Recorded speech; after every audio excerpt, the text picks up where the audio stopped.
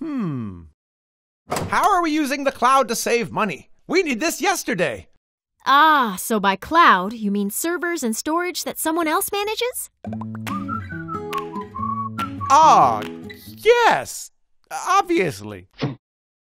I can send him a copy of my old backups. I said save money, not spend more.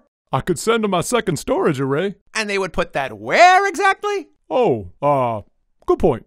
Don't worry. With Zerto Virtual Replication, we can now simultaneously replicate between our own data centers into Microsoft Azure or to over 350 cloud service providers.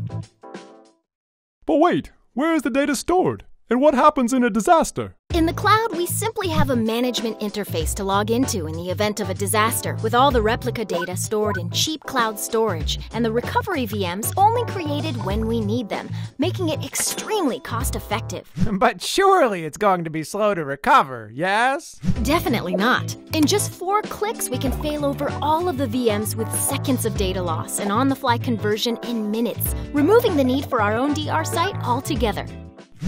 So, what you're saying is, with Zerto, we can save money by using the cloud today. Oh, yeah, we can.